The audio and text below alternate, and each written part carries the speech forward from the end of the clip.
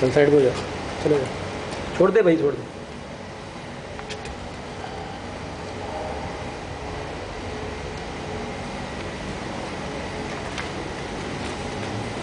वो पेटी वो पेटी खोल दे, वो जरा नीचे रखो